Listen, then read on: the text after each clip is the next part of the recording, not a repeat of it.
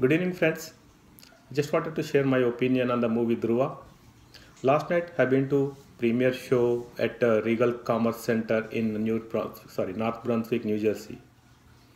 So, movie started at good note and could able to connect in the beginning very well, and then slowly I lost. I felt lost connected, and uh, the beginning in the ending, the climax was good, and uh, photography and production values are very good, amazing. So coming to Starcast, Ram Charan Tej is much better than all his previous movies, and he performed good. So he looks very handsome in the movie, and he he had six pack as well. and coming to Arvind Swamy, he is an amazing actor. He did his role very well, and he looks stunning and handsome. Coming to female st- female star cast, Rakul Preet Singh was an heroine. She is an amazing. She looks gorgeous and she performed her role very well.